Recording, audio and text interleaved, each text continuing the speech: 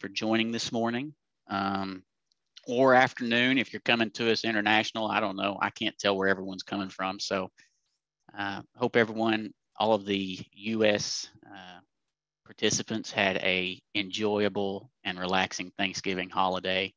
So I'm going to do my best today to be fake Jerry Hunt for the day. So I know I'm not quite, you know, I'm not quite what, what you're looking forward to seeing, but I'm going to do my best to uh, to make him proud here. So today we have a a good educational webinar session for you. Excuse me. This is going to be an SDA 101. If you're familiar with the DSUA conferences of the past, a lot of times we would have a SDA 101 or a dry FGD 101 session for people to come in to learn the basics of, of the various uh, products out there, AQCS product lines. So this is this is going to be kind of along those lines. It's going to cover a lot of topics. Um, going to basically talk about you know purpose, principles, lessons learned, observations. I think you're going to gain a lot from this. I also want to go ahead and thank our sponsors. So just running through the list here, we've got uh, North America, Mississippi Lime, Lechler, uh, Reaction Analytics Solutions Corporation, Atlas Carbon, Redecam, Primex, Integrated Global Services, Gecko Robotics, National Filter Media, and RPM Solutions. So once again, this webinar would not be in the whole series would not be possible without our sponsors.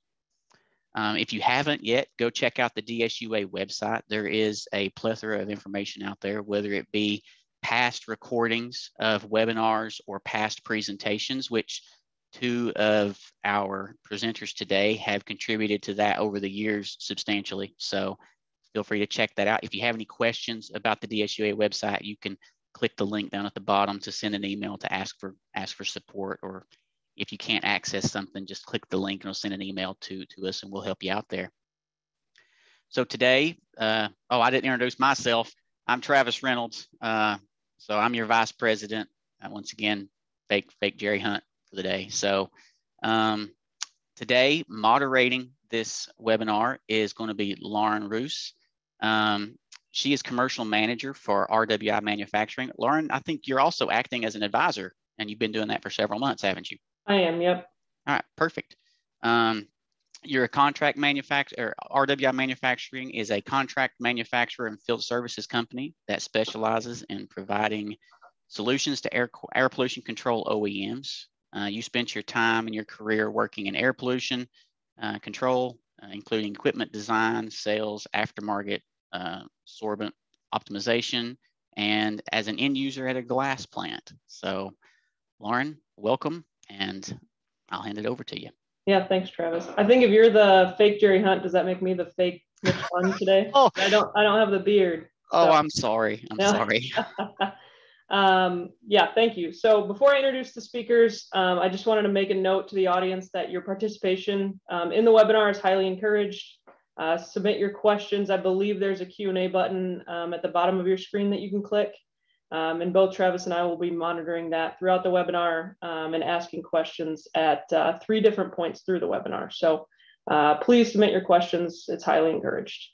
Um, so today I'm going to introduce both Stewart and John, our presenters. We have uh, two industry experts from Primex Process, um, and they're going to teach you all about SDAs. So first up, I'm going to introduce Stewart Nicholson. Stewart is the president and founder of Primex Process Specialists a professional services firm specializing in power generation asset optimization. Um, he's informed by 30 years of experience in the power industry, and his mission is to help dry scrubber users improve process safety, reliability, and efficiency. Stewart's also a US patent holder, ASME published author, professional engineer, co founder, and former president of the Dry Scrubber Users Association. Uh, good morning, everybody. Yeah, good morning, Stewart. Presenting alongside him is John Kersch. John has almost 40 years of experience in the power generation industry in construction, engineering, and maintenance, with the last 20 plus years at two dry scrubbed coal fired power plants in New Jersey.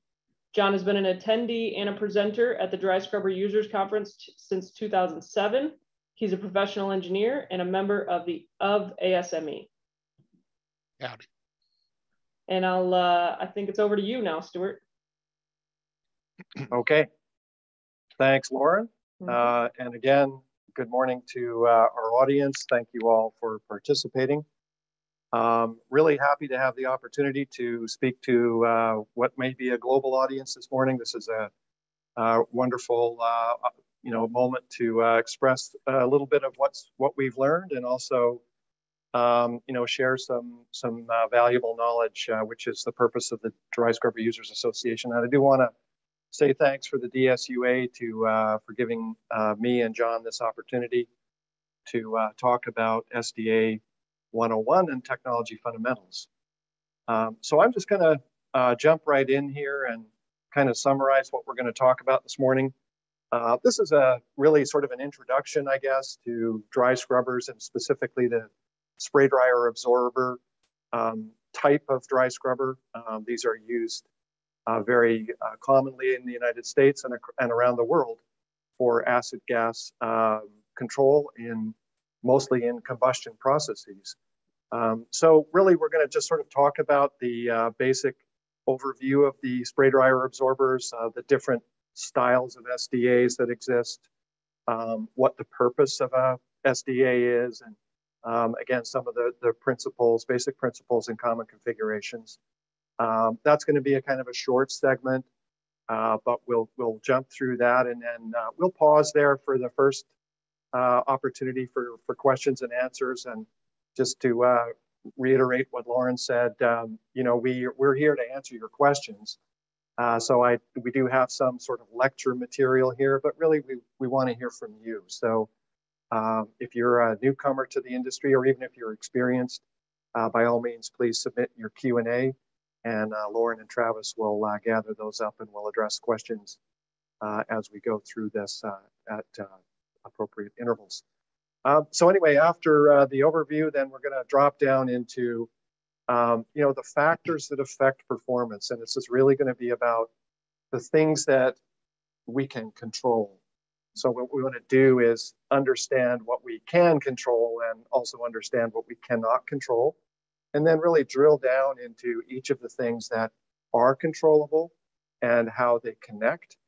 Um, how they work, how they affect each other, and how they affect the things that dry scrubber users are most concerned with um, in the ownership, operation, and maintenance of these systems.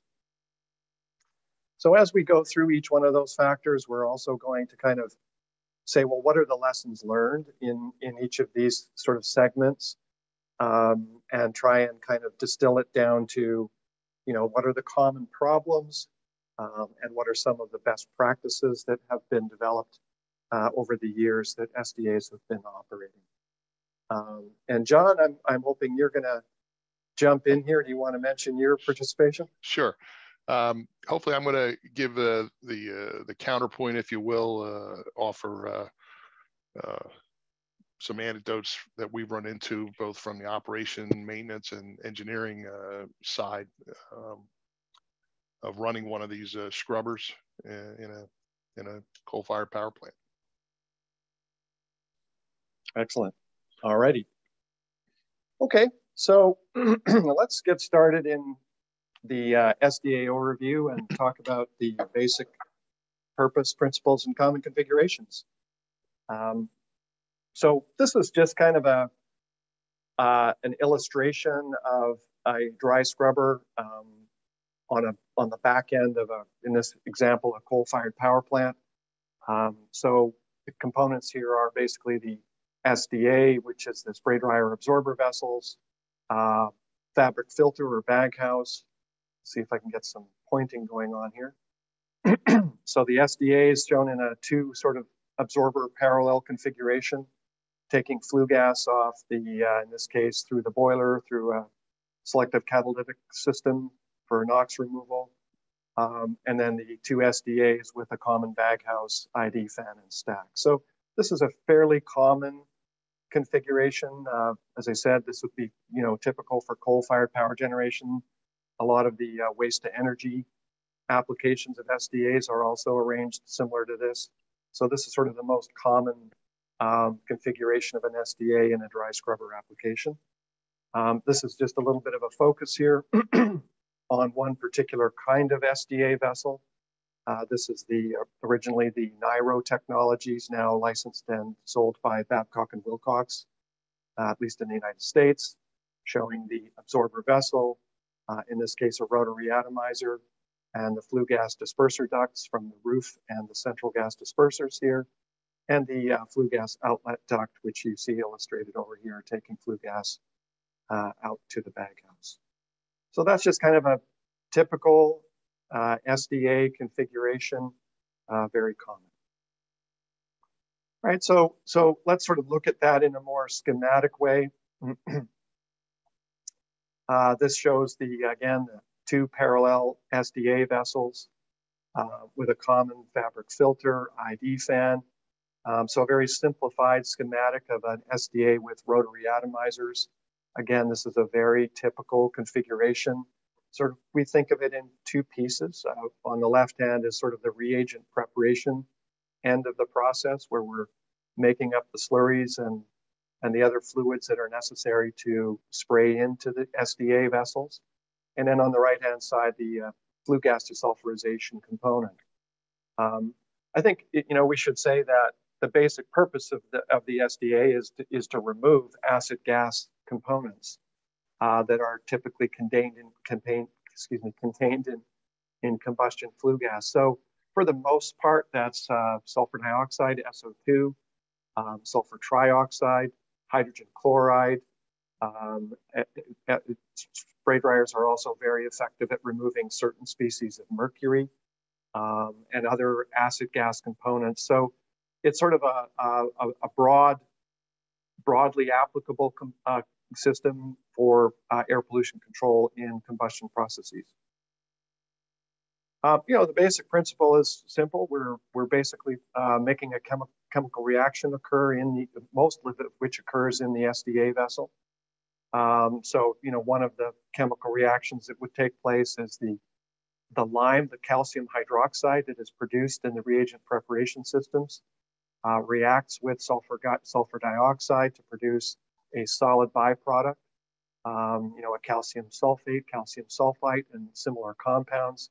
These solid byproducts are then captured in a bag house or fabric filter, sometimes in the older systems, maybe an electrostatic precipitator, but there's some kind of particulate removal device uh, on the, uh, you know, between the SDAs and the stacks. So, you know, it, that's sort of the basic principle behind the operation. We're we're creating the space for that chemistry to occur. Um, I think it's important to say that, uh, you know, roughly in a system like this that's um, removing SO2, probably something in the order of 80% of the SO2 that is removed occurs in the SDA vessels themselves. And there's also some secondary removal um, in the particulate collection device if it's a fabric filter uh, perhaps not so much if it's a precipitator, but there's also some maybe 20% removal occurring uh, on the surface of those bags as well. Okay, so common applications. Um, I've already mentioned coal-fired power, uh, municipal waste to energy. I, I, would say back to coal-fired power. You know, those are the largest of the systems, and I think in the United States, starting in about the early 80s, um, and I think the last SDA that was commissioned in the United States was probably in 2012. Uh, that would have been Turk Station. Um, so these these systems have been in operation in coal-fired generation, you know, for the better part of 30 years, um, and continue operating today. Some some have been closed, but um, many of the uh, coal-fired power plants that are operating today use the uh, SDA technology. So those are the largest of the systems. Probably the next uh, most common would be municipal waste to energy. So trash, trash plants, trash burning power plants, uh, where you know they're uh, uh processing municipal solid waste. Um, they're using the dry scrubbers to remove um, SO2, SO3, a lot of chlorides that are produced in the combustion of municipal solid waste. Um, a lot of heavy metals are being removed in the SDA vessels, so there's a the flue gas coming off the uh, waste energy boilers is uh, filled with things that we don't want to emit into the atmosphere. So the uh, spray dryers do a great job of removing most of those products um, in the municipal waste energy industry. Uh, coke oven heat recovery is another application. Uh, so in the steel industry, where the uh, coking ovens are producing a hot flue gas, and a lot of that, the, the flue gas contains primarily sulfur dioxide and hydrogen chloride uh, coming off the coking ovens. Um, so, and that those gases are captured. Some of that heat is is also captured and used to generate power, but the flue gas has to be uh, cleaned before it can be emitted uh, to stay in compliance with regulatory requirements. So, spray dryers are used in coke oven heat recovery, uh, both here in the United States and uh, internationally as well. And then finally, um, industrial incineration. So hazardous waste incineration. You'll see a few spray dryers used in, in uh, industrial applications. Um, not as common perhaps as some of the other dry scrubber technologies, for example, circulating dry scrubbers or dry sorbent injection systems. Um, we're not going to be talking about those other types of dry scrubbers today. We're really just focusing on the spray dryer absorber configuration.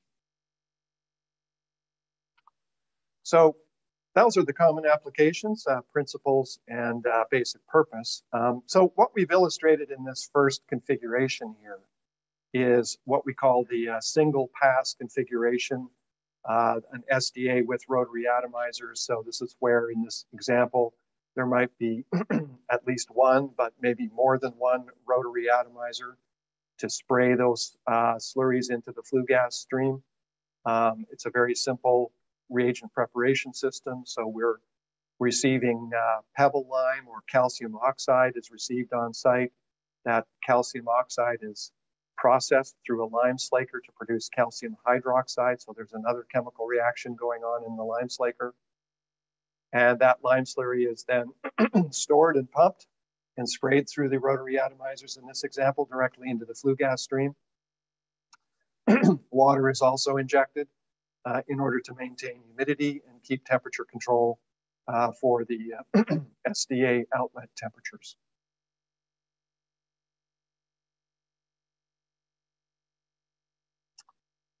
Pardon me.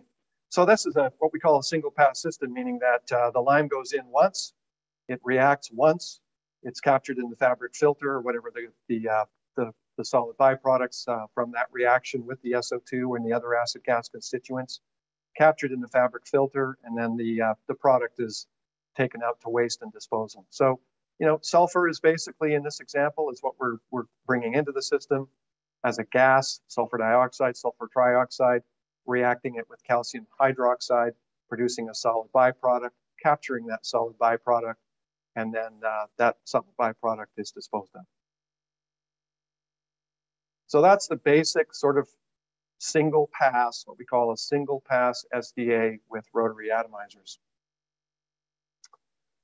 Another um, configuration, which is pretty common, is the uh, SDA with fly ash recycle. So we'll just sort of illustrate the uh, recycle feature that some of the SDA uh, systems have.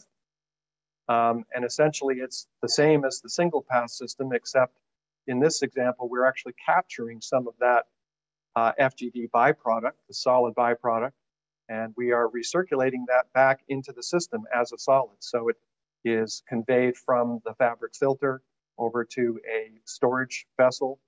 Uh, the dry product is stored in that silo, and then it is fed into a second tank mixed with water, where that recycle call, we call it the fly ash recycle slurry, is then injected alongside the fresh lime slurry uh, to um, spray to, through the rotary atomizers and into the flue gas.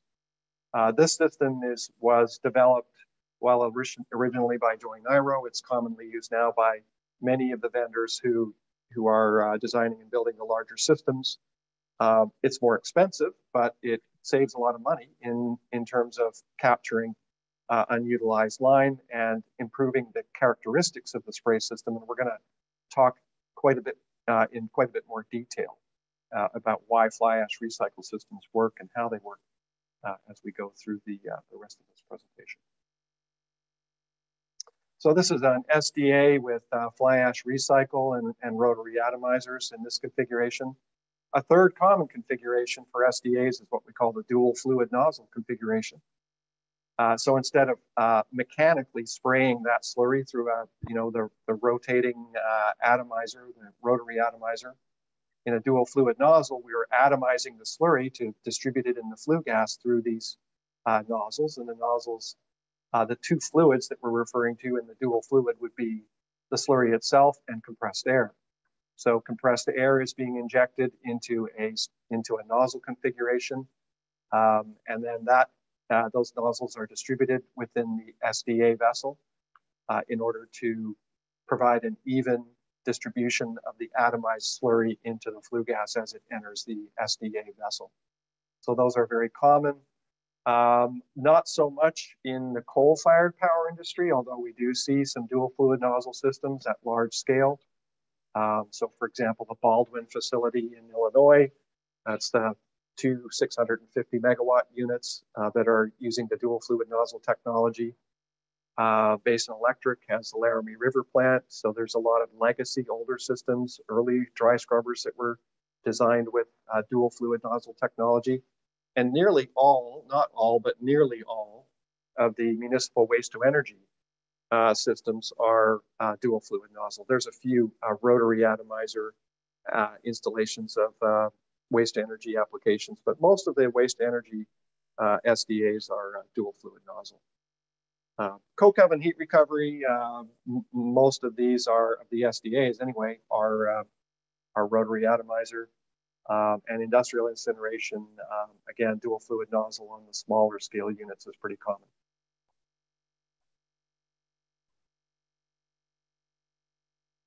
So those are, you know, the, the three basic styles of SDA, uh, rotary atomizer, dual fluid nozzle, rotary atomizer with sort of uh, sort of single pass rotary atomizer, dual pass rotary atomizer. The uh, by the way, the um, we're showing here the uh, dual fluid arrangement with fly ash recycle. Um, although that, as I said, many of them are are not uh, fly ash recycled. So municipal waste to energy, for example, there are no uh, systems that I'm aware of that actually use the recycle feature. Uh, so pretty much all the uh, waste energy plants are single pass, dual fluid nozzle, or and a few uh, rotary atomizer applications. Coke oven heat recovery, again, these are all single pass. Um, and I don't, I'm not aware of any uh, uh, industrial units with fly ash recycle, but could be wrong on that. Okay. All right. Um, so let's just talk about the three things that dry scrubber users are concerned with in the operation and maintenance and ownership of dry scrubbers. Um, they are lime consumption, which is an operating cost, material accumulation, which is a problem in uh, common problem in SDAs, and corrosion, which is another common problem in SDAs. So we're really thinking about the long-term effects of dealing with uh, costs related to lime consumption, costs related to material accumulation, and corrosion remediation. So those are the three things that we're trying to really kind of optimize uh, in terms of how we think about um, the way we run these systems, the way we operate them, and, and indeed the way they're designed.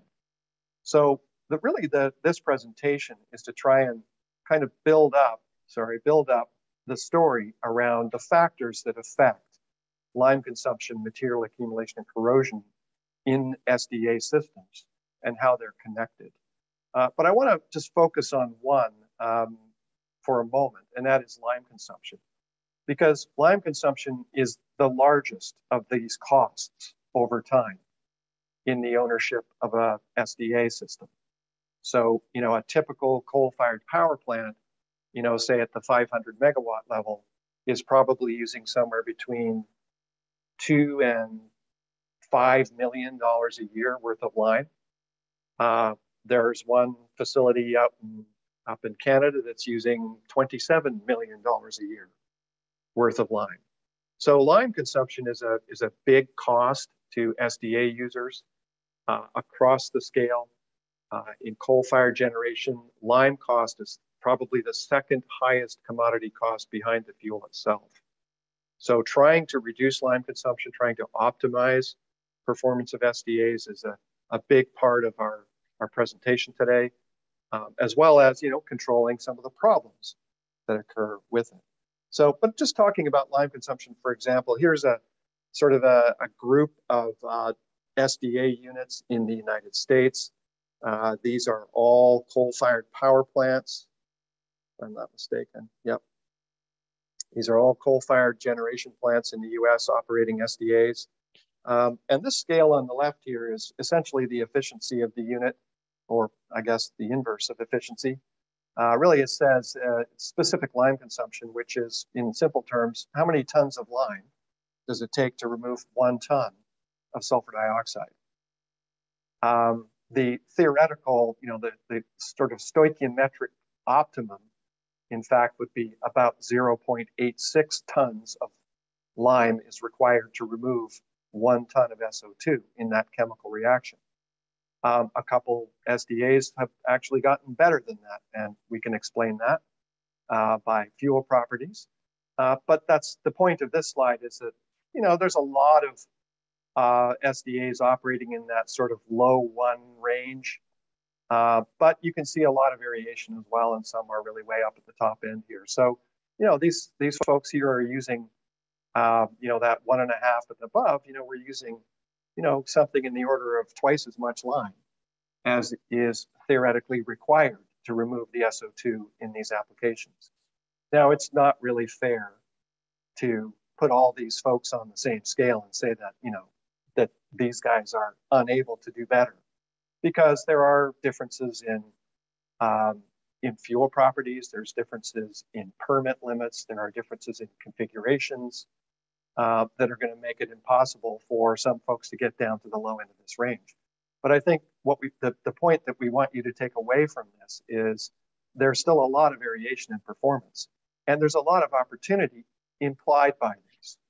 That so can we find a way to get someone who is at, you know, 2.35 down to 1.5, or someone who's at 1.5 down to 1.1?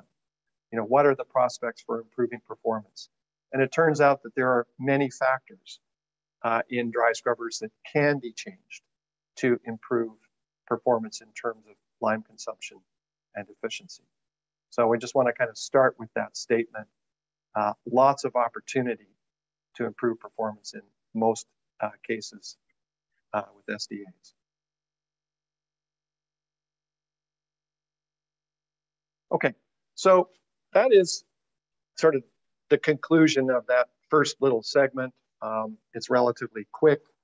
Um, well, we're already up nearly 1030, so I guess I need to hustle along, right? Um, so that's the SDA overview, and I'm going to just pause here and, and ask Travis and Lauren, do we have any any questions from our audience yet that we want to uh, tackle? So uh, one question for you, Stewart, so far. Um, so this is on kind of the configurations that you were talking about, the three different configurations. Uh-huh. Um, and maybe you'll cover this later when you talk about, you know, the best practices and the design and all that. But is there, um, why would you pick maybe a rotary atomizer versus a dual fluid nozzle? Uh. There a specific, you know, process, for example, maybe a coke oven versus the municipal waste to energy? Um, is it just, you know, that uh, standard practice for that industry, or is it better mm-hmm. for some processes? Um, can you speak on that a little bit? Sure. I think that the quick answer is economics. You know, in our experience, the dual fluid nozzle systems and the rotary atomizer systems have very, very comparable performance. In other words, you know, to meet a 90% SO2 removal uh, requirement, even more than 90% SO2 removal, uh, there's not a lot of difference uh, between these two technologies. The dual fluid nozzles and the rotary atomizers are very similar. I think it comes down to long-term operating cost, um, you know, and and you know, given that the different vendors, the OEMs that produce these systems, have proprietary features. Um, it, it's really just a matter of you know what do you what are, what are what is the OEM offering and, and who has the best deal um, that can meet the, the required limits. So I, I don't think there's a lot between them in terms of actual performance. And I will say that, you know, the factors that affect the performance in a dual fluid nozzle system are really the same as the factors that affect performance in the rotary atomizers. So, you know, the rotary atomizers are, I'd say they're similar in terms of power consumption. You know, the rotary atomizers have big motors on them, but, um, you know, to, to produce the dual fluid nozzle, you need compressors with big motors on them. So the actual energy consumption of the two are very similar in the end. Uh, so I don't think there's a lot between them. and maybe just come down to, to preference and you know the, the, the decisions that are being made around the economics and the pricing uh, when when the decision is made uh, to, to purchase one or the other. Got it. Thank you. Yeah, you're welcome. Um, we did have one more question, um, and it's also on that configuration. So can you speak on what the fraction of flue gas is to each of the two SDA inlets? Well, you mean in a parallel SDA configuration like this? Uh, well, yeah. I, okay, we'll assume that is the, the, meaning of the question. Well, it, it, should be split perfectly evenly. Um, you know, in, in, in the ideal world, if I understand the question correctly. Um, but we're going to talk about that uh, as we get into the factors affecting it, because in practice, that flue gas is never split evenly between two SDAs that are operating in parallel or more than two SDAs. You know, and keep in mind, that there are systems out there that have eight absorbers in parallel. And it's very common to see more than two, you know, three, five, four, eight. so the, the, the, way that flue gas splits between the two SDAs in, in this particular illustration is very important and it's never ideal. So I think, yeah, we'll talk more about that in the, in the coming segment. Um, so Stewart, we have a couple questions here in addition to the uh, SDA inlet. And I know you're, we're probably going to cut the questions off here in a minute on this first section so you can get started on that next part. But what, uh, I think you're going to hit on it too, approach to saturation. Um, mm-hmm. I think you're going to cover that more in the next session. Is that the next section? Is that correct? Yes, we will. Yep. All right. All right. We'll just hold the approach to saturation questions till the next section then. All right. All right. Okay. Well, how about if we move on then? That's good. All right. Okay. So we're gonna we're gonna talk now about the factors affecting SDA performance, including approach to saturation. Uh, we'll we'll tell you what that means and why it matters. We'll talk about the way flue gas flows uh, split or don't split evenly, uh, and why that's important. Um, and then we'll talk as we go through each of these factors affecting performance. We're going to try and kind of uh, conclude around lessons learned and common issues and best practices. Uh, and again, John is going to be uh, pitching in there a little bit to give you uh, all sort of the more practical perspective from uh, from the uh, plant plant personnel's look on things. I think let's start with the statement that many factors are going to affect dry scrubber performance. You know, so those three things we're interested in: lime consumption, uh, material accumulation in the back end, and corrosion in the back end here. Uh, a lot of things affect those. So you know, if we were to put them all on one messy list, um, there's a you know dozens of factors that are going to affect the things that we're interested in changing. Uh, but and I'm not going to go through all these because there's too many of them. But I think what's important is to understand is that most of these we have no practical control over. So from the perspective of the operator uh, or the mechanic, the maintenance mechanic, you know, we can't change the volume or the geometry of the SDA vessel. We can't change the residence time in the fabric filter. We probably can't change the lime that's in the silo or the quality of the water that we're slaking or reacting that lime with. So, so there are many, many things on this slide that we just don't have any practical control over. So the thing is to say, right, well, what can we control? And that's a much smaller list. Um, only a few factors are controllable, you know, from a practical perspective. But I'm happy to say that these factors can make a huge difference in how these systems behave and how long, how much they cost to operate over time. So it's our business to help you understand how these factors affect performance and some of the things that have been learned about how to make them better um, over time. So that's sort of the intro. And we're just going to go back to, we're going to sort of focus on each one of these factors um, one by one and just sort of talk about how they affect it and why they're important. So the first thing to do is to go back to these three things that we're interested in changing and put those controllable factors into some sort of sense of how they affect.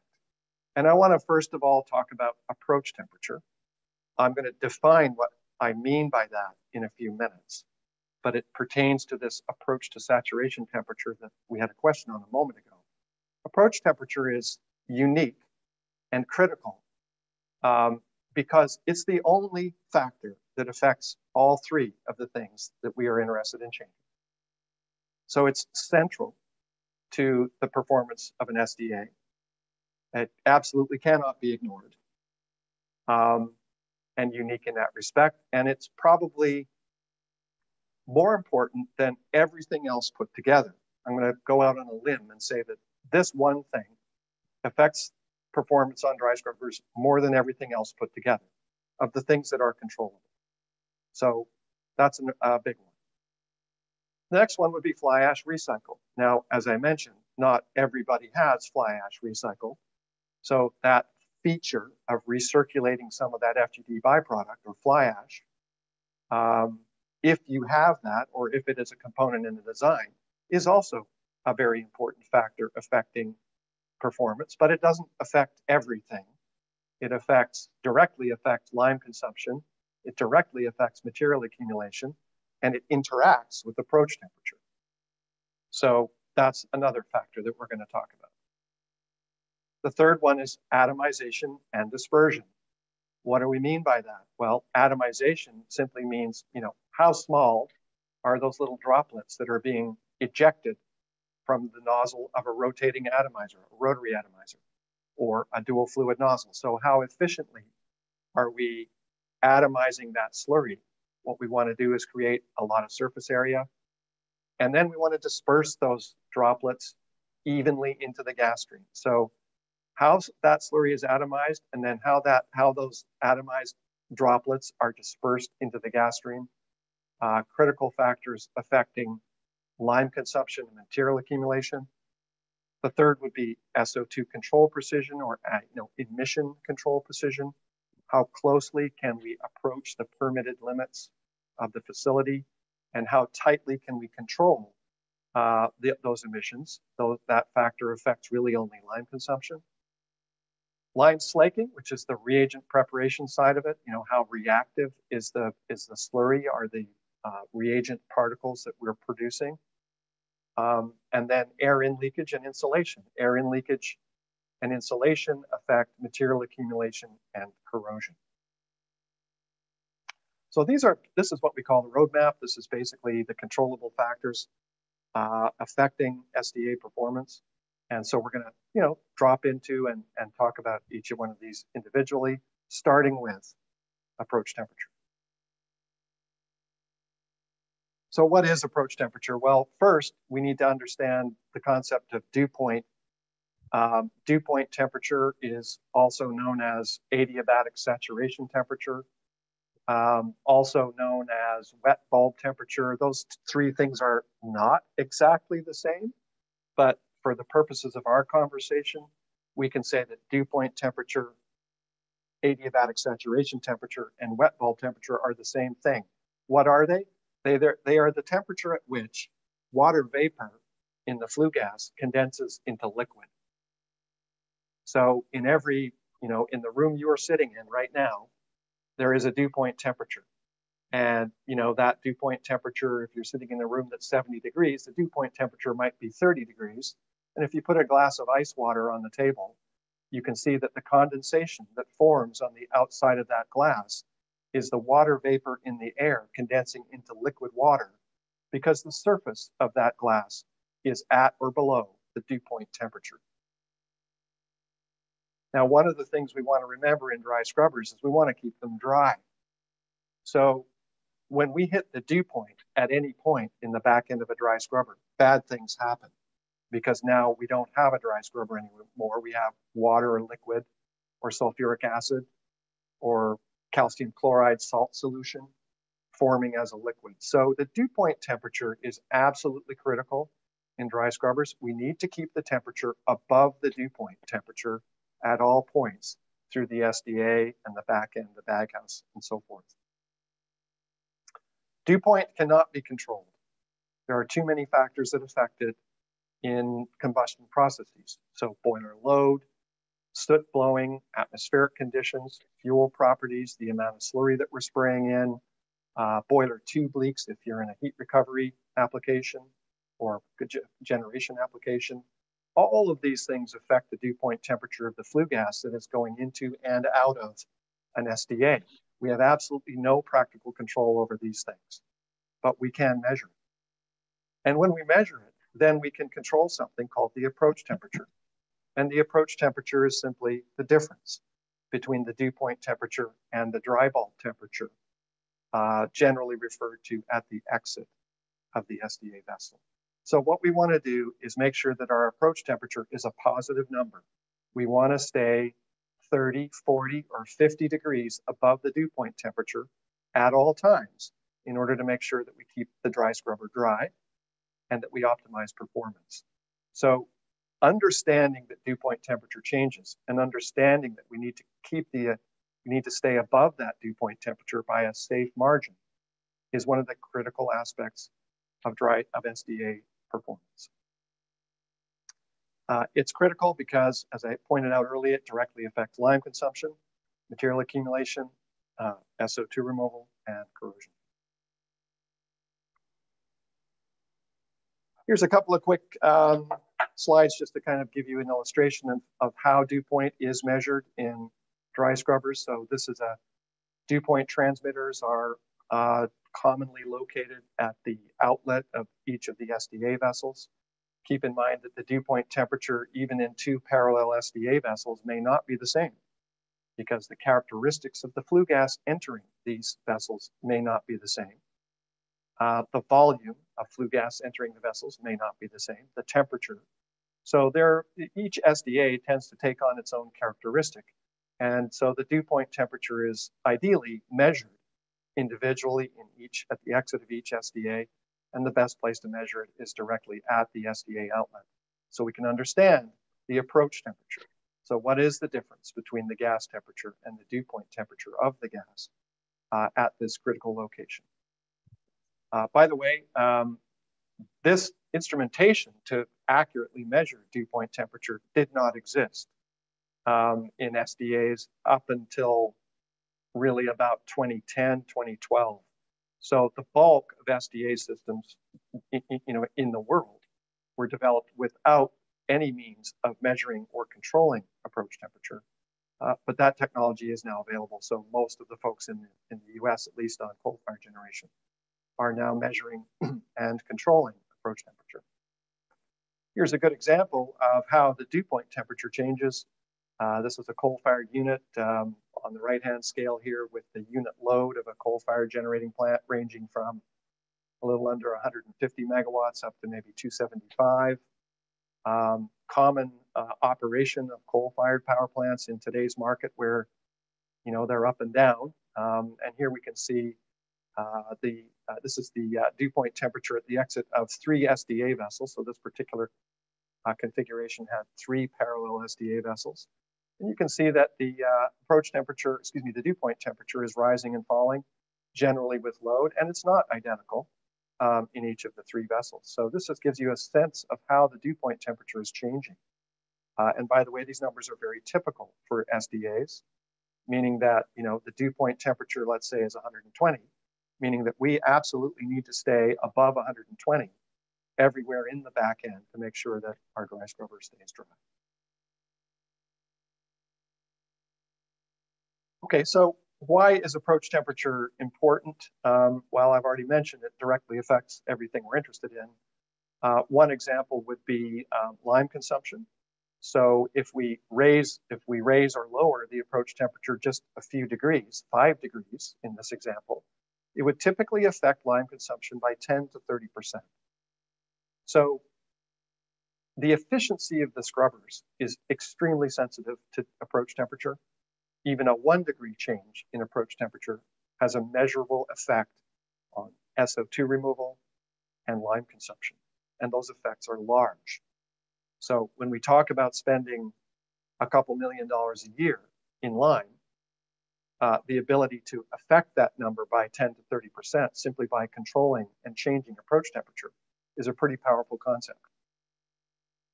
So why wouldn't we just keep turning the approach temperature down? So as we get closer and closer to the dew point, the efficiency gets better and better and better.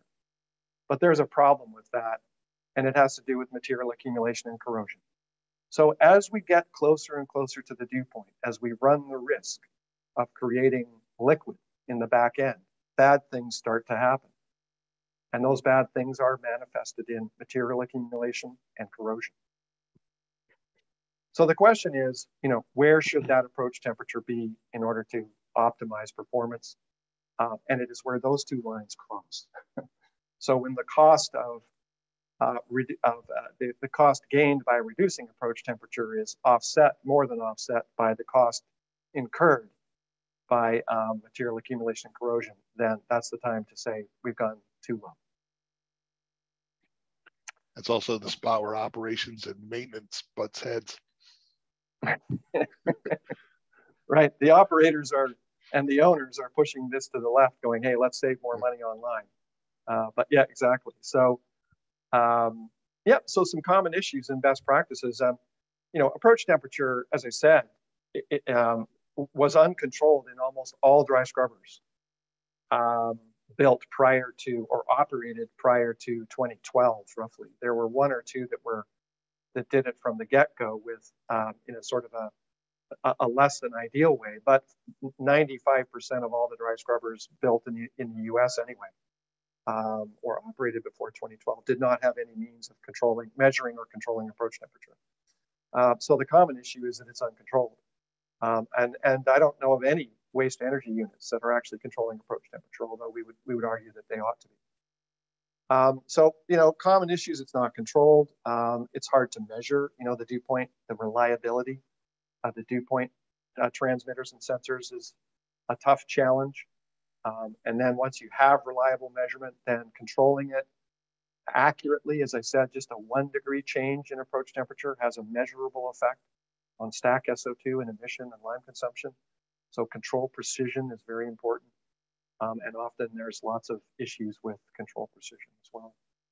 Uh, and the best practice is to, well, measure approach temperature, control it, and control it precisely. So if we put in an approach temperature set point of 40 degrees, we want to maintain 40 plus or minus one degree on a five minute rolling average basis. Okay, so that's approach temperature. Uh, we got quite a bit more to go through yet. So um, any other comments on that from your end, John? No, it's just the best practices um, is sometimes hard to uh, keep the operator's hands off the control system uh, in order to have that uh, real tight plus or minus one degree operating um, range. Uh, when operators see excursions in SO2, you know, their operators, their immediate reaction is they want to change the control system and bump up the lime flow, and it will settle out on its own over time. So that's just uh, something that always uh, affects the lime consumption because the operators don't want anything bad to happen on their watch. Okay. All right, thanks. All right, moving on. Um, we're going to talk uh, about fly ash recycle now. Again, recognizing that many dry scrubbers don't have fly ash recycle, so we're not going to dwell on this too long, but most of the big ones do, and it does make a significant, uh, or it has a significant effect on lime consumption and material accumulation. So again, this is just the sort of the basic illustration of what we mean by fly ash recycle. I already covered this at the top of the of the webinar. So we're taking that uh, fabric filter byproduct, we're collecting the solids and making it down into a slurry. We're wetting it with water and then we're re-injecting it alongside the uh, fresh lime slurry uh, reagent in the systems. Um, so why does this make a difference? Well, it has to do mostly with, with the dispersion. So if we look at, uh, you know, a mic, if we put our lime slurry under a microscope and we, we zero in on those little particles of lime slurry uh, uh, here in the left, if you leave those lime slurry particles all by themselves, they tend to clump together. So there are, uh, you know, electrostatic forces that cause those particles to attract each other. Uh, so they will clump together into these chunks, meaning that those uh, little particles on the inside of that clump really do not get exposed to the SO2, to the flue gas. So a lot of lime gets wasted simply because it's not being exposed or dispersed efficiently. However, if you put recycled particles, which are much bigger, um, you know, the recycled particles are sort of on the scale of, uh, you know, a basketball compared to the lime particles that are sort of the size of a marble or maybe a golf ball. Um, what happens is the, the electrostatic forces change. So the, the fly ash particles actually attract the lime particles. And so those lime particles stick to the outside of the fly ash particles. And what that does is it breaks up these clumps and allows every single one of those little marbles to be exposed to the flue gas. So we get a, a, a huge increase in effective surface area of the lime slurry to be exposed to the flue gas. So there's a lot more efficient utilization of the fresh lime when we put these fly ash particles together with it. In addition, those fly ash particles also spread out the water. So the fluid that is, you know, the water that's being injected to humidify the gas and control temperature also spreads out around these fly ash particles. And that when it spreads out in a thin film around a big sphere, that provides more surface area for drying. So the water dries a lot more efficiently, more effectively, just because, again, we're giving it more surface area when we spread it out over the surface of a fly ash particle than if we don't and we just throw it in there as a droplet. So fly ash uh, helps in two ways. It disperses the lime and it disperses the water for more efficient drying. Common issues, uh, well, again, um, measuring recycled slurry density, controlling recycled slurry density to a, you know, with precision, uh, dealing with, you know, the issues that occur. So these tanks tend to get clogged up. There's a lot of issues that occur in recycle systems. Material accumulates in the vessels. Um, it sticks to the walls. It forms, it forms a cement-like substance that will harden in the tanks. It will harden in the piping and the valves and the instrumentation. Uh, so there's a fair amount of maintenance that goes into these recycle slurry preparation and control systems. Uh, not only that, but there's the ash conveying systems, the silos, and all the stuff that goes with this. So there's quite a lot of capital cost that goes into this, and then there's a lot of O&M cost that goes into these recycle systems. That's why we don't see them on the smaller units, because the economics just aren't there you know, we may reduce lime consumption by 30 or 40%, but if it costs $50 million to install and operate the recycle system, that's not going to make sense unless the scale of the system is large enough to, to justify it. Anyway, best common issues, best practices. Um, if you have a system, more is better. So increasing that recycle slurry rate, or excuse me, increasing the total recycle rate. So the more of that fly ash we can recirculate back through the system, uh, the more money we're going to save, uh, the less material accumulation we're likely to have in the in the spray dryer absorbers. So it's a it's a it's a feature that you really want to focus on if you have it uh, by raising that slurry density and raising that recycle rate up to the maximum achievable within the limitations of agitators, slurry pumps, flow control valves, atomizers, etc. Yeah, and this is where the operators really need to be engaged uh, with checking the uh, recycle ash density. Um, take take samples, um, check it, uh, compare it to uh, your uh, density meters to make sure that you have maximized that uh, density there. Um, occasionally, you're going to see that build up uh, in the piping. the operators used to call it liquid sandpaper going through the piping. So there's a lot of wear issues, um, and you just got to stay on top of it.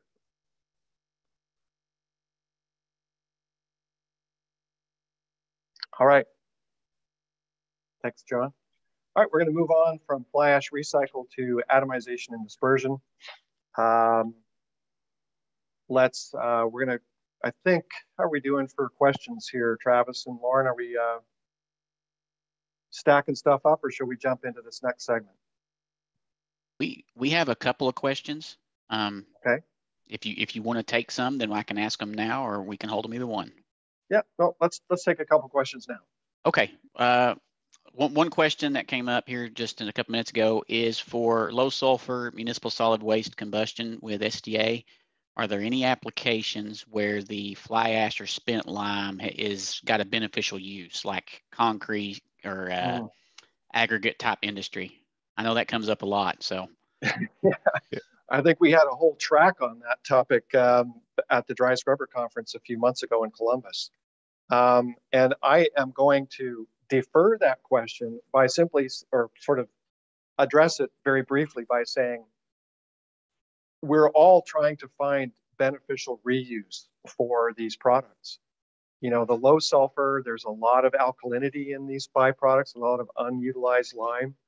Um, some folks are using it for uh, road building, some use it for other types of waste remediation. Uh, it has been utilized, certain types of FGD byproducts have been utilized for, um, you know, cement making or cement brick making. Uh, but it, it's a very, very difficult challenge because the properties of this ash is generally too variable to make it useful in a lot of applications um, that need a consistent product in order for it to be useful. So I, we're not experts on that field, but I can tell you that there's so many questions around it, and some folks have found beneficial reuses, but most really struggle to find it. Um, and I would say MSW ash is even more tricky because there's a lot of heavy metals bound up in that MSW ash. So, um, you know, there could be some environmental challenges re related to uh, finding beneficial reuse for it.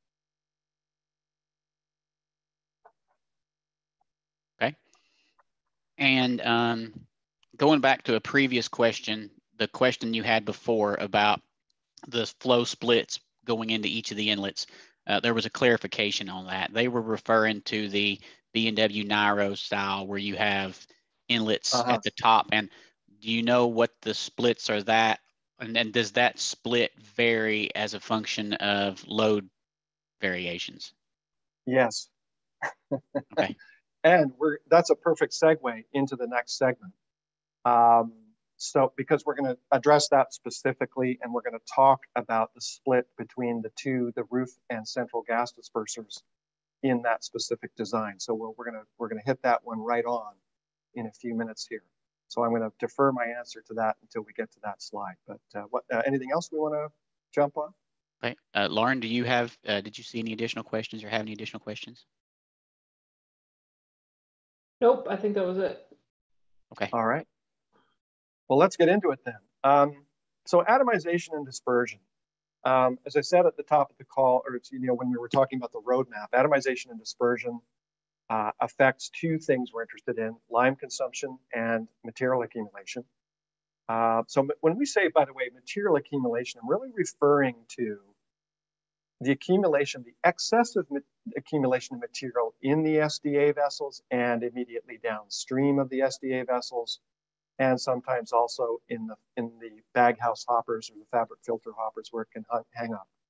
But most of the problems around you know, costs related to material accumulation are due to material accumulation in the absorber vessels themselves or immediately downstream in these outlet ducts leading into the fabric filter. So, you know, atomization and dispersion are really crucial um, in reducing or affecting um, that material accumulation as well as lime consumption. So again, um, let's just look at sort of the basic configurations here. So this is a kind of an illustration, um, you know, 3D modeling of um, a dry scrubber that has three parallel SDA vessels. Uh, this, by the way, is the uh, configuration uh, that, most commonly provided by um, GE Alstom. Um, so that's Travis's company. So this is, you know, with the uh, triple triple atomizer, triple rotary atomizer arrangement. So the flue gas is coming in um, through these three individual, they're called finger ducts. Uh, each finger duct leads to an atomizer well. Each atomizer well has uh, a gas disperser and an atomizer in it. And you can see this common header. So when we talk about dispersion, we're really we're referring to you know how evenly is that is the slurry being sprayed into that flue gas well one of the biggest problems is that the flue gas is not evenly balanced between these different ducts that are heading this way so if you look at the total amount of flue gas going into each of these three SDAs, you very commonly find, in fact, you will always find that they are not the same. And in fact, the difference can be significant. There can be up to a 30% variation between one or the other of these three SDAs. In addition, the flue gas flow split between the three finger ducts can also be different. So, you know, you can see variations in flow rate through the finger ducts. You can see and often see variations in temperature. So there's a lot of dynamics going on in these systems that we don't really have very much in the way of practical control over.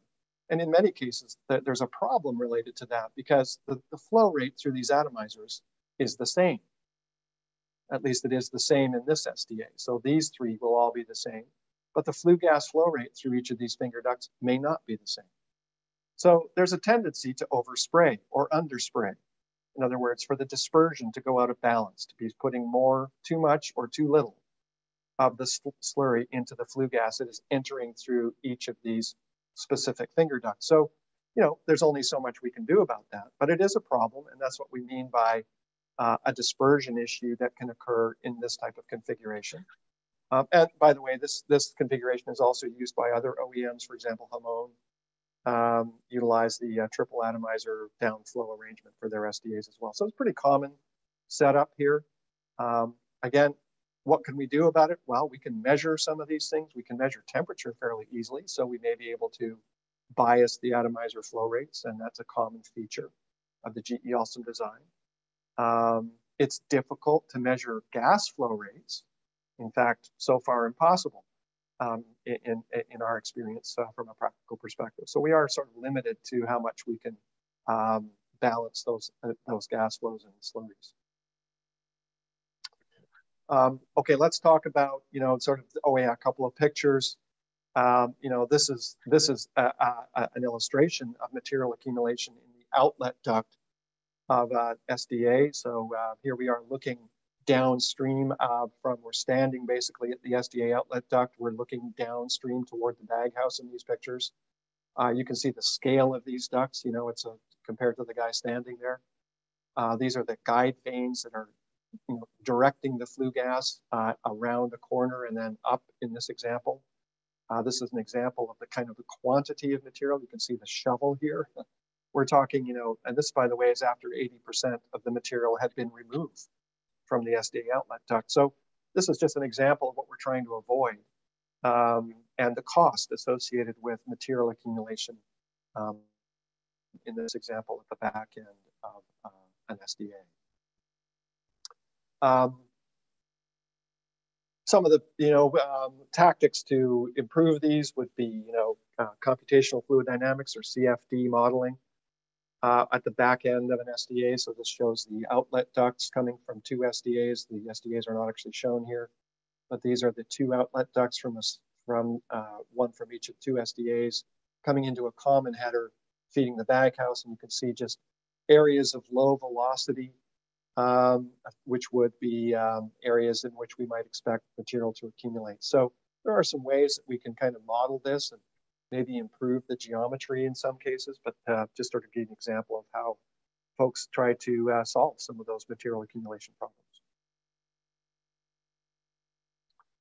Uh, so moving on to the different, uh, this is the B&W or Joy Niro configuration of the SDA. Um, so this is a little different than the GE Alstom or Hamon.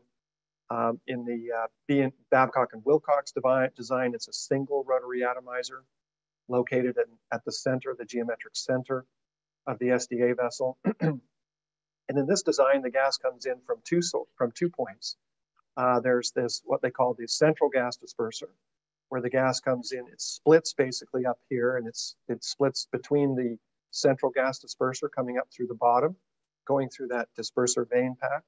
And then the roof gas disperser, which is a sort of a circular arrangement. And that uh, roof gas disperser distributes the gas in a sort of a swirling motion through the disperser vanes and down through uh, past the rotary atomizer uh, wheel.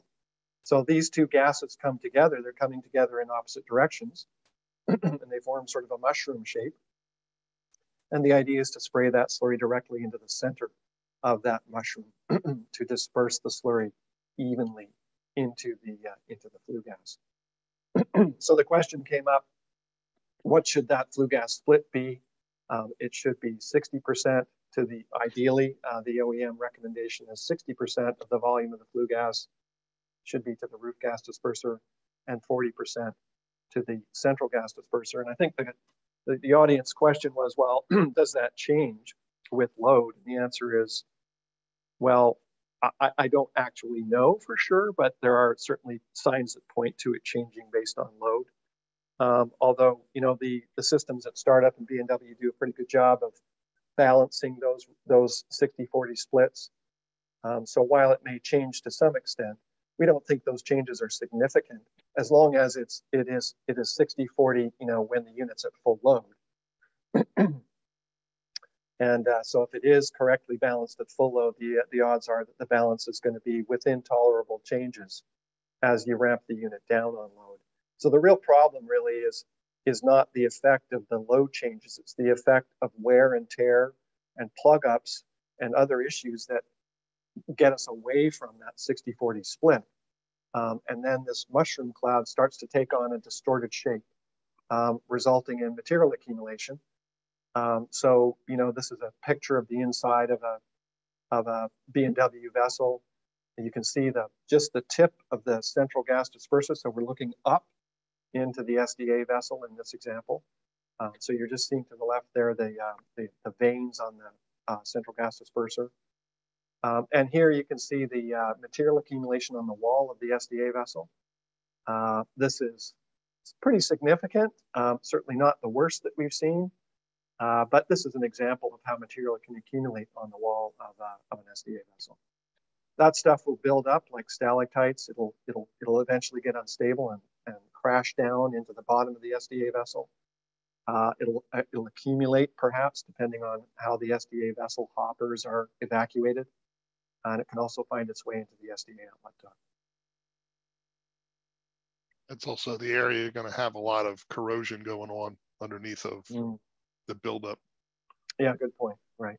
Yeah. So this material accumulation does tend to trap um, trap compounds that uh, cause corrosion. So yeah, common problem in that particular design some of the things to talk about around atomization and dispersion. Um, you know, the atomizer wheel itself. So this is just a little bit of a focus on the rotary atomizer configuration. Um, this wheel is turning at, you know, 10 to 12,000 RPM. Uh, the nozzles are arrayed radially around that nozzle. So it's really just the centrifugal force of that spinning motion that um, imparts velocity to the slurry that then goes through the nozzles and it's atomized uh, those nozzles can get plugged up, which will cause a in, in, incomplete atomization. It will also cause in, uh, let's say, uneven dispersion. Um, worn nozzles, you know, so they fail over time, that those solids going through the nozzles will wear them out. So those are some of the factors affecting atomization. Um, dispersion can be affected very significantly by wear on the dispersers. So this is a couple pictures of the roof gas disperser vanes. Um, so that gas is flowing through these dispersers, but the gas often contains particulate matter, you know, fly ash from the boiler. So that will wear out these, uh, you can see the holes in the disperser vanes here, holes in the floor. So that allows leakage and bypass and interferes with, you know, the, uh, the proper distribution of flue gas into the, uh, into the SDAs. Uh, here's a picture of, uh, you know, sort of a screenshot of a dual fluid nozzle system. So, you know, switching out of rotary atomizers and into dual fluid nozzles. Uh, in this configuration, there are two, this is sort of a schematic, if you will, from their control panel. Uh, two SDAs sitting side by side. Each SDA actually has 20 nozzles in it. So, you know, should the flow rate through all those nozzles be the same? Or, you know, if the gas is entering from this side, should the flow maybe be balanced in these nozzles to try and get an even distribution? So again, um, trying to figure out how to distribute that atomized slurry in the flue gas, especially in dual fluid nozzle systems, is um, a little trickier because we have a lot more pieces to work with here than we do in uh, rotary atomizers. So it's an important uh, component of both types of systems. Uh, nozzle condition um, in, the, in the dual fluid nozzles. Um, so again, just like the rotary atomizers, these nozzles wear out over time. So the efficiency that uh, they actually produce the atomized slurry uh, changes and, and deteriorates over time. So some common issues here, and this would be true to some extent with both types of systems, you know, poor drying because of partially plugged or worn spray nozzles leading to material accumulation in the spray chamber because, you know, we're not atomizing the slurry. We're just basically blowing, you know, a garden hose full of slurry into the into the gas stream. So it won't dry, it'll hit the wall, it'll accumulate somewhere inside the vessel and cause trouble. Um, some best practices, um, while some of these are specific to dual fluid nozzles, but you know, maintaining the nozzles, inspecting the nozzles, making sure that the wear is is acceptable, using actual measurements, not just somebody's opinion, but measuring the actual nozzle bore diameter and the, um, the bore wear patterns are important. Knowing when to rotate the nozzles or change them out is very important. Uh, per, you know, atomizer preventive maintenance is important. Uh, flushing practices are important. So there's a lot there that uh, can affect atomization. Um, just a couple of other pictures of material accumulation as a consequence of poor atomization and poor dispersion. Um, you know, this is uh, sort of what happens when the SDA fills up with solid matter. You have wind up with a, a pretty significant mess. Um, this is not only uh, an economic cost to deal with that, but it's also in some cases a safety concern as well. Okay, we need to move on here. We're uh, quarter past the hour. We have another, uh, what, 18 minutes remaining?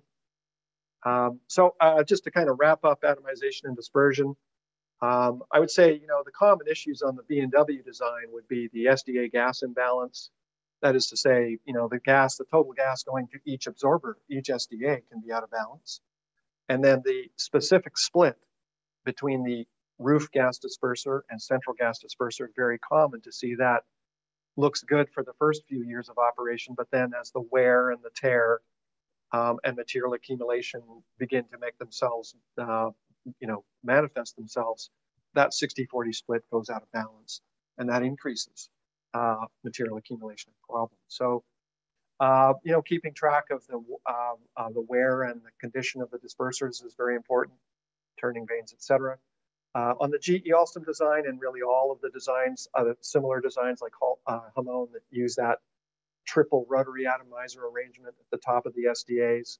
Uh, it's the finger duct flow imbalances that are really causing problems with dispersion. Uh, and again, the same problem with, you know, just the split between two SDAs can be imbalanced as well. Uh, so, and then nozzle maintenance, of course, is really important. So best practices, you know, measure the flue gas flow distribution. Um, in some cases, it can be continuously measured or calculated just by looking at the thermodynamics. Uh, understand how it's, you know, how the balance is changing over time. Use that information to know when to go in and inspect uh, disperser vanes or ducts. Um, repair those baffles, you know, keep maintenance on those disperser uh, packs and the turning vanes is important to maintain the appropriate gas flow distribution uh, regular preventive maintenance on things like screens and strainers to keep solids out of the out of the atomizer nozzles, or at least oversized chunks out of the atomizer nozzles. Um, regular preventive maintenance of atomizers themselves, uh, as I already mentioned, uh, keeping track of nozzle wear, rotation, etc. And flushing practices are important, making sure that we're we're flushing enough, but not too much. Too much flushing is a problem because it interferes with process control uh, interferes with drying. If we're just putting straight water through an atomizer, it won't dry as readily as the slurries will. So Uh, we need to flush just enough to uh, keep ourselves out of trouble, but not too much. So that's atomization and dispersion. Um, any comments on that one, John? Yeah, the the uh, measuring the flue gas flow, it's it's pretty easy to add test ports, and um, what we had done in the past was utilize our uh, stack test vendor to come in and measure the measure the flow, uh, measure the SO2. Uh, you already have temperature in most cases coming in, and um, knowing that having that information is then going to give you the means to potentially, you know, modify inlet dampers to uh, change the, uh, the, the flow patterns and all. It's not something unless you want to make a big capital investment that you would do continuously, but at least you know you have an issue. Um, a lot of times it depends on your your air heaters and uh, which direction they're turning. Um, the uh, all the uh, maintenance stuff on the atomizers, those regular PMs are, are big. And depending on your particular configuration, uh, you know, if you have multiple atomizers, it's not such a big deal to swap one out if you have a vibration problem. But when you don't, um, like in the the B&W Joy-Niro configuration, uh, a lot of planning has to go into that, and uh, making sure that uh, you have spare atomizers ready to go is huge. Thanks for that. And I will add to that that, that all of the OEMs that you're familiar with do provide the test ports. So there will be an array of, of ports um, in these finger ducts and in the critical uh, locations of the um, of the inlet ducting for you to be able to measure that. So, you know, B&W provides it uh, those uh, areas that you can traverse these inlet ducts to measure the 60-40 split. So there are provisions in these systems for the flue gas flow rates to be measured. Again, you can only do it, you know, uh, one at a time, but uh, very worthwhile doing. Okay, um, so that's atomization and dispersion. I think we're just going to push through here at least another segment or two before we pause again. Um, so I'm going to just, just a couple slides here. Um, want to talk about uh, air in leakage. Again, uh, going back to our roadmap, uh, air in leakage affects material accumulation and corrosion uh, or insulation. So loss of heat, basically. Uh, whether it's we're losing heat because you know ambient air is being pulled into the system, or because the insulation has failed and we're losing heat to the outside, uh, both of those things have the same effect, which is to increase material accumulation and, uh, and, and corrosion issues. Um, so we just have the one slide on this. Um, I think the thing to say is, well, okay, where does it really, why does it, when does it happen? Where does it happen? Um, you know, people, you know, just leaving, leaving a, a port open, um, not properly closing or sealing an inspection hatch, uh, those are common sources of air in leakage. Probably more common in our experience would be um, failures of the expansion joints. So where those ducts are brought together and there's a big, you know, rubber expansion joint. Um, there's a lot of issues with those expansion joints. They fail over time, they leak, and we start sucking in cold air um, in through those expansion joints. Uh, this picture is more of a, of a a, a sidewall failure of an SDA due to loss of heat. So just the insulation failed. So the temperature of that inner wall is dropping below the magical dew point temperature. And when that wall temperature drops below the magical dew point temperature, very bad things start to happen very quickly um, around corrosion. So not only are we condensing water, we're actually condensing sulfuric acid, hydrochloric acid, saturated solutions of calcium chloride salt water uh, on you know regular carbon steel. So some of these vessels may be coated, some of them may be lined with stainless steel, but it's never a good thing. Uh, most of them weren't, you know, as supplied by the OEMs. Most of these are just straight up carbon steel walls, so they can disappear very quickly.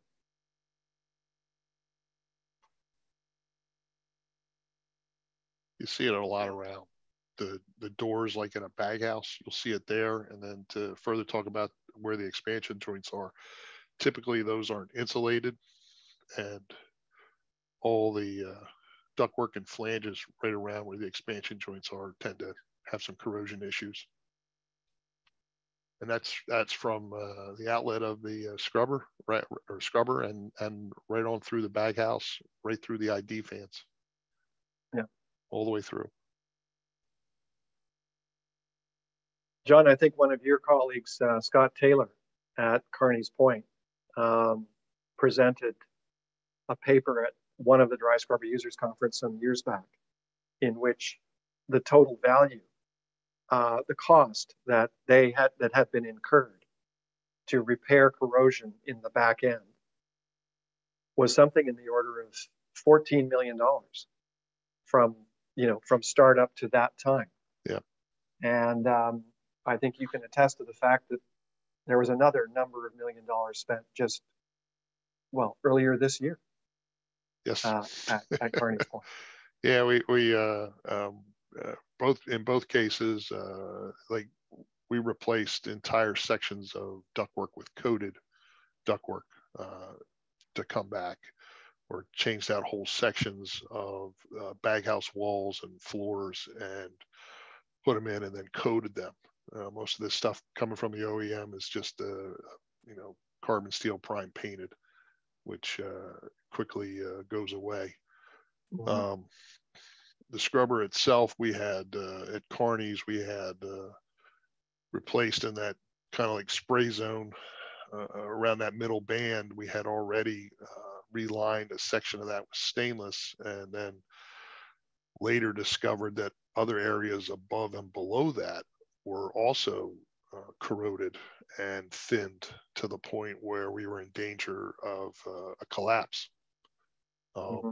And so we had to go in and uh, temporarily support the entire scrubber vessel and uh, you know repair with rolled plate uh, before we could uh, safely resume operation because you, you forget too that it's not just the uh, weight, but you've got all that area of the uh, plant is all under negative pressure. So you've got uh, other forces at work as well. So it, there's, there's a lot going on there and you have to be very vigilant about checking it and uh, UTing it and uh, maintaining all that stuff. Mm-hmm. Both, yeah, and, and I go ahead. I was just going to say there there are many documented major structural failures of SDA vessels, not just B&W, but the other OEMs as well. Right. Okay, so, you know, yes, there is a, a specific vulnerability on the B&W systems or Joy Niro systems, right where that spray cloud exists. You saw that picture of the material accumulation on the wall. So the real, the, the, the Achilles heel on the B&W systems is right here uh, at the elevation of that spray cloud where we get a lot of uh, under deposit corrosion. There have been multiple structural failures um, and many instances where structural failure was narrowly avoided um, by measurement and realizing that there needed to be reinforcement and repairs. So, so that's one of the problems on there. I would say just not to leave everybody sort of thinking that that's that's unique to this design. Um, on these designs, um, the vulnerability is down in the hopper. So the corrosion problems on these systems is typically happening right around the spring line where the hopper connects to the sidewall. And there's at least one major structural failure where the hopper actually fell out of the spray dryer absorber due to corrosion of the sidewall. A lot of extreme corrosion on the SDA outlet, excuse me, the hoppers events, um, and more commonly on these systems in the outlet ductwork as well. So uh, lots of money spent and some uh, significant uh, safety um, and overall plant reliability issues related to uh, SDA corrosion. So uh, I think that the message here is air in leakage and insulation failure are two very common causes of corrosion. Um, the some there are some others like that specific under deposit corrosion that we're talking about on the BW units, which is sort of a unique thing. Um, but in all cases, uh, it's something to be very, very aware of. Um, it can be not only expensive, but potentially harmful. So go looking for um, air and leakage, hunt it down ruthlessly, um, use techniques, um, thermal measurement, acoustic measurement. Uh, beehive smoker is a great way to see where air is getting sucked into the insulation. So if you if if, if, if, if ambient air is getting pulled in to uh, a ductwork, especially near things like expansion joints, then you know you have a problem. Uh, and that air in leakage is going to be very damaging very quickly. Yeah. Or can be. Next time you have a heavy rainstorm, that's a good time to be looking at it. You'll, it'll yep. expose it. Okay, so we're running out of time here. We got our five minute notice up, so we should probably uh, jump through this and then uh, maybe take one or two final questions before we we uh, adjourn. Uh, SO2 control precision, um, going back to the roadmap, I'm sorry, it, really, uh, it's a factor that really only affects lime consumption.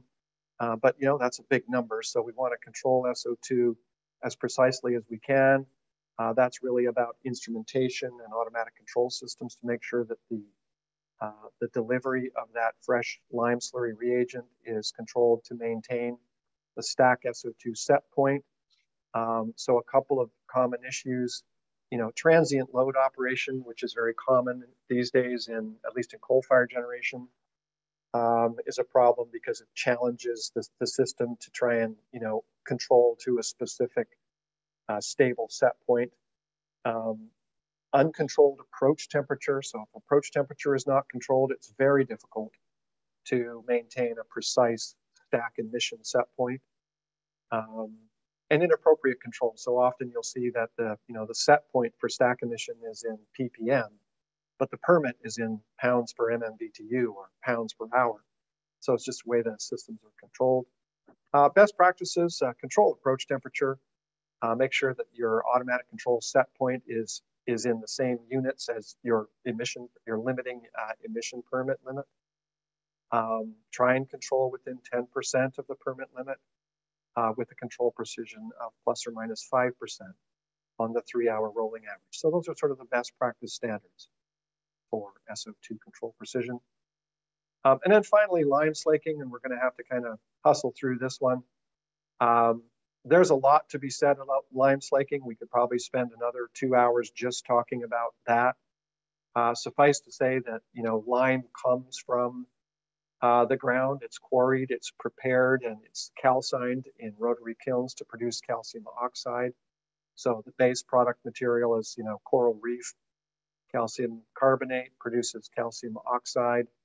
Uh, that calcium oxide is uh, reacted in the lime slaker, typically on site uh, where the dry scrubber is located, to produce calcium hydroxide. That's a very highly exothermic uh, and potentially hazardous chemical reaction um, known as slaking. Um, there are a lot of, you know, safety concerns, I think. Um, and I, I think the, the, the takeaway from this is that because slaking is a highly exothermic reaction, um, there's a lot of accidents that have occurred. And I would say most of the lost time accidents that pertain to SDAs have something to do with the lime slakers. Yeah, I would I would agree with that, Stu. That's a big spot uh, where PPE is is absolutely mandatory. Goggles, gloves, uh, face shields. Um, I've had so many guys uh, get lime slurry burns, and uh, that's just nasty stuff to deal with. Yeah. Many factors affect lime slaking. Again, um, I'm not going to talk through each one of these today because we're running out of time, but there's a lot to be learned about how to control the slaking process, how to optimize the process to produce a highly reactive product. That's what we're looking for. Um, and that kind of leads me to the, the wrap up here. Um, so I'm just going to pause real quick um, with only a couple minutes remaining. Um, Travis and Lauren, do you want, you want to throw any other questions at me before we adjourn? Yeah, Stewart, one more for you. Sorry, I was trying to find the uh, unmute button. Um, so this is on um, the lime side. So the question starts for DSI with hydrate, particle size is crucial. Is there any benefit in milling quicklime prior to the slaker? Okay. Um, no is the quick answer, not in our experience. Uh, in fact, the opposite is true. Um, it's it, slakers of the sort that we're discussing here. Okay, it's a lime slaker, conventional lime slaker, will generally produce a higher pro quality product if the pebble lime is not pulverized. Um, and the reason is that if we do, well, the believed reason is that when you grind it up, it, it causes those particles to air slake very quickly. So even if they're in the presence of air for a short time period, they, those particles will react with the uh, humidity in the air, which will make them less reactive in the slaker. So in general, we, we, we see better product quality coming out of slakers where that quicklime is not pulverized or ground up in any way. Perfect. Um, and that was the last question. So I think we can go ahead and, uh, and wrap up. Okay. All right. Well, um, I think just to, to basically wrap it up, we're um, we've covered the basic principles, we've covered the um, applications, we've covered. Let's skip down to the bottom here. We've covered the roadmap. Uh, remember, you know, these are the things that we can control. They matter. Uh, they make a huge difference to the long-term life expectancy and the long-term operating cost of SDAs. Uh, we're still learning. We're still accumulating best practices. Uh, I would encourage you all to uh, join. If you're not members of the Dry Scrubber Users Association and this topic interests you, please please join the association and participate. Uh, come to the conferences, um, join in, and, and get involved. So, um, really appreciate the opportunity to speak today, and uh, thank you, Lauren and Travis, for for facilitating and moderating today. Um, and I think um, the bottom line is uh, there are other questions. Uh, we can address those later, but I suppose that needs to be it for today. Yeah. Thank, thanks, John and Stewart. And uh, you, you did my wrap up for me, so I appreciate that. Um, once again, thanks, thanks everybody who joined. Uh, if you have any questions hanging over there, like like Stewart indicated, you can send us an email. Let us know. We'll get to get to them, and we'll distribute those to everyone uh, on the call as well. The recording for this will be loaded on the YouTube channel within a couple days, we've got to get some stuff worked out there to get it loaded, and it'll also be on the DSUA website as well. So um, thanks everyone. Thanks John and Stewart. Thanks a bunch to Lauren as well for coming on and moderating this. And thanks for joining everybody. Have a great day. Thanks. Bye for now. Bye.